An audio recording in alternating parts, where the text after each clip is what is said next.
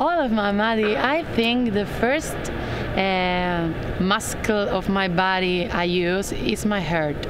It depends uh, how how you feel. You know, like some days I wanna dance salsa because I feel like. Um, power, you know.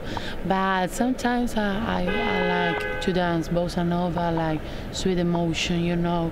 Latin, Latin music is my favorite uh, mood of dance, I think. I feel all the, all the energy of my entorno, to, todo mi entorno, todo lo que me rodea. I put my, in myself and I feel it.